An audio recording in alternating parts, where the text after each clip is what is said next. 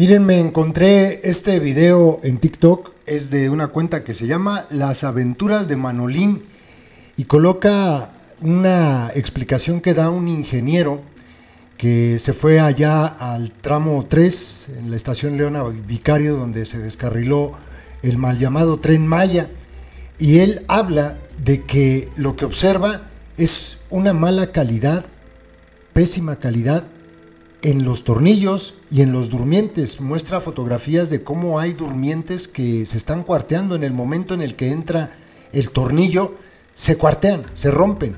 Entonces él considera que es la mala calidad de los tornillos, una de las cosas que pudo haber fallado, y los materiales de pésima calidad. Y luego veo aquí los comentarios, me llamó mucho la atención uno que está aquí abajo, ahora verán, donde dice, eh, eh, aquí está, Dice, es muy sencillo porque supuestamente va a haber una, eh, una investigación.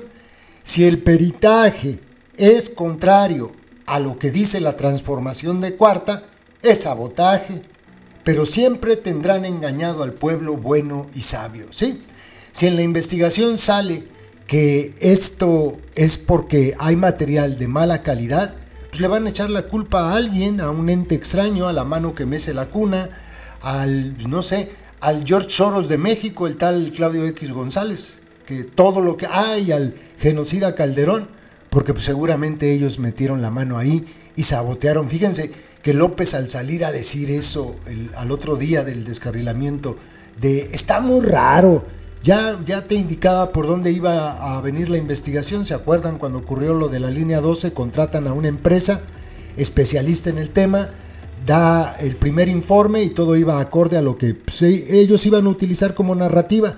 Y cuando termina la investigación, dan un informe y dicen que fue por falta de mantenimiento, entre otras cosas. Entonces sale Lady Repsamen a descalificar a la empresa y a decir que seguramente hubo mano negra, alguien metió la mano, probablemente los compraron.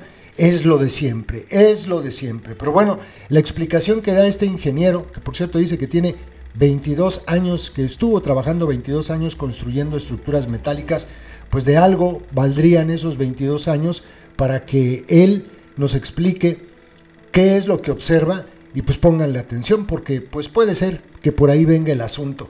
A lo mejor hay otra empresa, a lo mejor también controlada por los coyotes del bienestar, que está vendiendo productos de mala calidad. Si este tren hubiese ido a más velocidad aquel día, quién sabe qué habría pasado. Se les está avisando, esta porquería está mal hecha. Saludos, compas.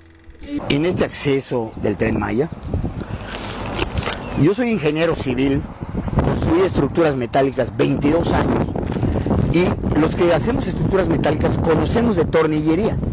Entonces a mí me llamó la atención que había fotos con durmientes fracturados, con oxidación en las placas de asiento donde están los neoprenos y algunas cosas que yo dije, oye, si tiene cuatro meses de operación esto, ¿cómo es posible que esté fallando?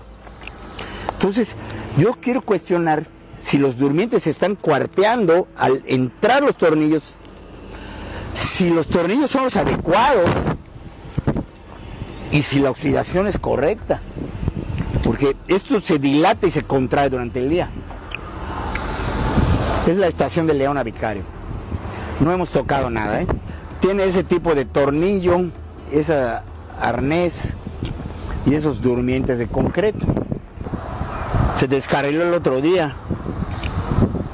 La estación Leona Vicario.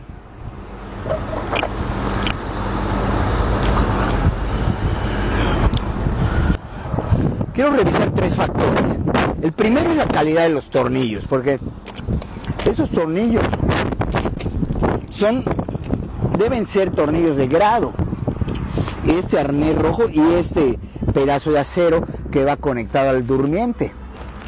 Entonces, algo está fallando porque hay durmientes cuarteados, hay duda de la calidad de los tornillos, hay que revisar al proveedor, se descarriló el tren. Acá todo parece estar bien, aunque, aunque hay algunas cuarteaduras en, algunos durmientes.